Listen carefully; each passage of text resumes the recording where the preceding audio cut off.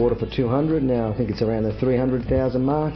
I've got no problems at all. I'm, uh, you know, the only uh, mistake I did is uh, Phil still calls me, you know, he says I'm an idiot, but um, I chickened out. I should have bought two properties. I had a property in Deception Bay, which even done better. But at the time, I chickened out, being you know not a you know not someone that invests too much. So I just stuck with the one property.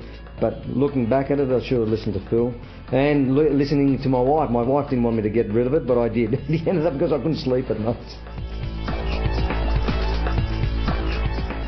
Well, Phil came over. Phil Kelly came over to our home and. Um, and really liked him. Uh, he uh, came across that he knew a lot of things. You know, he, he, knew what he was talking about. He um, and my wife liked him. Basically, we had a lot of people come over, and you know, man, he's just got hundreds. There's not a week that I don't get called up and uh, through an investment company, but.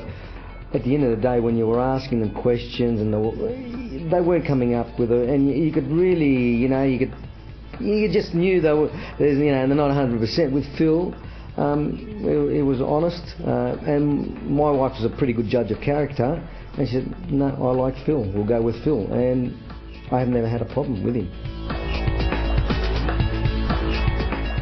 Nothing's been untrue. My rent's been guaranteed. Anytime I've had a problem with any of the tenants, I've rung Phil personally, and Phil sorted it out um, directly. I've had, well, you know, whatever I've had, I've, I have not had a problem, and uh, and that's a truthful. And uh, um, not doing this because I'm getting anything out of it.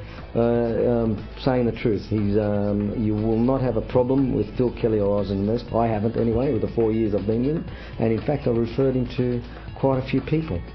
Um, my brother-in-law, my sister, I wouldn't refer him to my sister if I didn't think he was worthwhile. And I've referred him to family members, and, and they've all bought, and um, he's got quite a few uh, properties out of him.